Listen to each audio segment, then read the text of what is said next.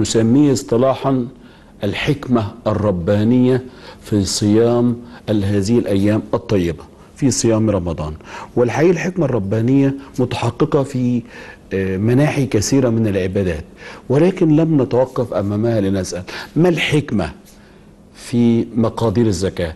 لم نسأل ما الحكمة في عدد أيام آه، التشريق مثلا؟ ما الحكمة؟ ما الحكمة؟ ما الحكمة؟ والآن السؤال ما الحكمة في صيام نهار رمضان وليس ليلة مثلا؟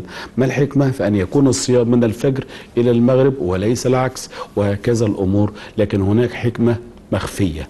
نسمع طرفا منها من فضيلة مفتي الديار المصرية. كل الشكر لسيادتك على اختيار هذا التعبير لأنه أحيانا بيبقى سؤال حائر لدى بعض آه، المتشوقين للاستزادة من علم فضيلتكم. بسم الله الرحمن الرحيم. الحمد لله والصلاة والسلام على سيدنا ومولانا رسول الله وعلى آله وصحبه ومن والاه. أما بعد الحقيقة سيادتك آه، آه، ده موضوع مهم بيجعل هناك قرب من الله سبحانه وتعالى وبيجعل هناك لجوء إليه سبحانه وتعالى لأننا في بعض الحالات قد لا نستطيع أن نصل إلى الحقيقة من وراء التكليف. آه، لماذا كلفنا على هذه الهيئة؟ آه، فبنجد آه، آه، بنقرأ مثلا آه، في الص- في الصلاة. نجد الصلاة في الحقيقة في أغلبها آه، شيء تعبدي. يعني بأننا العقل عاجز عن إدراك آه، حقيقة الهيئة التي أمرنا الله أن نصلي عليها. آه، لماذا؟ لماذا أمرني أن أصلي الصبح آه، ركعتين؟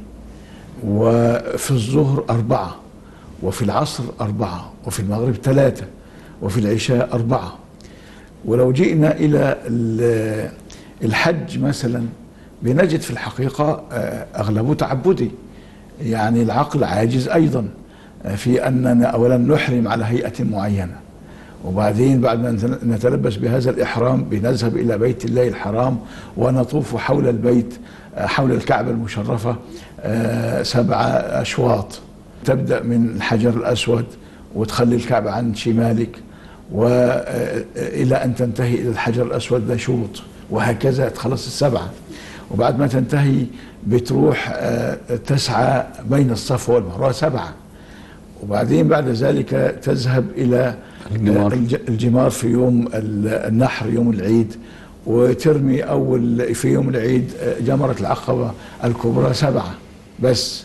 وبعدها اليوم اليوم الأول من أيام التشريق واليوم الثاني لمن تعجل بترمي سبعة سبعة سبعة. وهكذا. آه، في أمور كثيرة جدا في الحقيقة. العقل بيقف عاجزا عن إدراك لماذا شرعت هذه العبادات على هذا على النحو. هذه الهيئة وعلى هذا على هذا النحو. فبيسموها في الفقه آه هذا اسمه جانب التعبد في التكاليف. التعبد. التعبد يعني أنا أنا أعبد ربي سبحانه على, وتعالى على هذه الهيئة. على هذه الهيئة والتسليم له سبحانه وتعالى بهذه الهيئة. يعني كأن الخضوع في العبادة. بهذه الهيئة هو جزء من العبادة. جيد. آه، لكن أيضا هذا لا يعني أن العقل عجز وأن العقل يقف هكذا. أنا أخشى أن أن فهمت من كلام سيادتك إن هو لا، أنا عايز تعبد يعني أنا أسلم حتى ولو لم أدرك. أنا بس أخشى إيه؟ إن إحنا وإحنا بنتحدث وكأننا نسلم سلفا ولا نعمل العقل. لا هنعمل العقل. نعمله كيف؟ لك آه هنفكر نفكر. وهنسال أنفسنا وليه؟ ونحط علامات الاستفهام. علامه الاستفهام هي جزء من مكونات العقل الاجتهادي جزء من مكونات العقل المسلم اللي هو بيتعامل مع النصوص وبيتعامل مع الواقع. جميل. لابد أن يكون علامات الاستفهام كثيرة عنده. جميل. ويحطها ويحط احتمالات لعل لعل لعل. يعني هل هل هل هل هل دي من صميم و- وهي شوف أنت عند سيادتك في الاجتهاد مركوز على جملة من الأسئلة. أيوه. يعني عشان خاطر نوصل لفتوى أنا هنحط هنسال جملة جملة من الأسئلة. اولا هل ثبت؟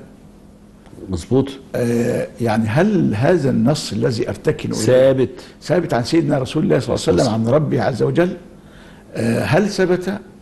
طب إذا كان ثبت آه، يبقى إذا نيجي السؤال الثاني. آه، ماذا؟ ما هو المعنى. آه، ماذا نستنبط منه مظبوط. آه، وبعدين نيجي لسؤال بعد كده لماذا؟ هو- المهم بقى اللي هو في التعليل. آه ما موقعه من الإعراب هنا. التدليل والتعليل. جميل. وبعدين التنزيل. جميل. يعني الثبوت أيوة. اولا الثبوت وبعدين بعد كده الت- التدليل ندلل ونشوف المعاني إيه ثم؟ وبعدين بعد ذلك التعليل لماذا؟ آه، ك- قضية التعليل دي هذه المهمة في فهم آه، لماذا شرعت هذه العبادات. كويس. آه، فهنسال لماذا شرعت الصلاة؟ لماذا شرعت الزكاة؟ يمكن هنعجز عن آه، لماذا شرعت على هذه الهيئة. أيوه. ما نعرفش نجاوب عليه. لكن حنسلم الأمر لله سبحانه وتعالى وأقول له يا ربي أنا عبدك وأنت أمرتني وأعل- وما على العبد إلا أن يطيع ربه سبحانه وتعالى فيما أمره بالهيئة التي يريدها. قد لا أستطيع أن أصل لماذا؟ لكن أنا أعبدك على هذا النحو وأسلم الأمر إليك على هذا النحو. لكن نفس قضية التسليم المحض والخضوع لله عز وجل والتعبد على هذا النحو فيه تهذيب للنفس. جميل. ومن ثم يأتي لماذا هنا؟ الجواب عن لماذا. فلماذا شرعت العبادات على وجه العموم؟ سترى بأن كل عبادة ستؤدي دورا مهما في تزكية هذه النفس التي بين جنبي وفي السمو بالروح. ستجد كل العبادات تنطلق إلى هذا الهدف. يعني تقصد أن المدرسة الربانية تتعدد فيها التخصصات في النهاية الدروس دي كلها تنتهي بشخص رباني نوراني يعني مؤمن آه، إيمان الحق عامل على إعمار الأرض. يعني تقصد هنا الخريج هنا من المدرسة الربانية. بعد كل هذه العلوم ينتهي لهذا بحيث إن هو في النهاية هذا هذا التلميذ النجيب اللي في المدرسة الربانية هذه لو أنت سألت